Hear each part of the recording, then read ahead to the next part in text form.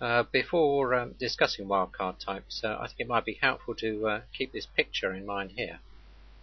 And um, what this actually is, is um, we've got all the various types down here, uh, interface types and, um, and uh, classes and so on. And what I'm saying is that right at the very top of the tree is object, and right at the bottom is something called the null type.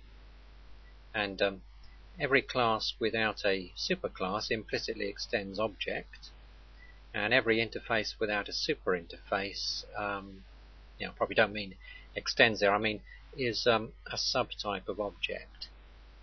Because um, um, any uh, any anything of type object um, uh, can be set equal to any um, interface type, basically.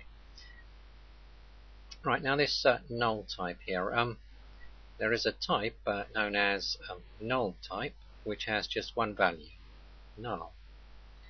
And uh, it's just like Boolean really, because Boolean's got two values, true and false. Well, null type's got just one, null.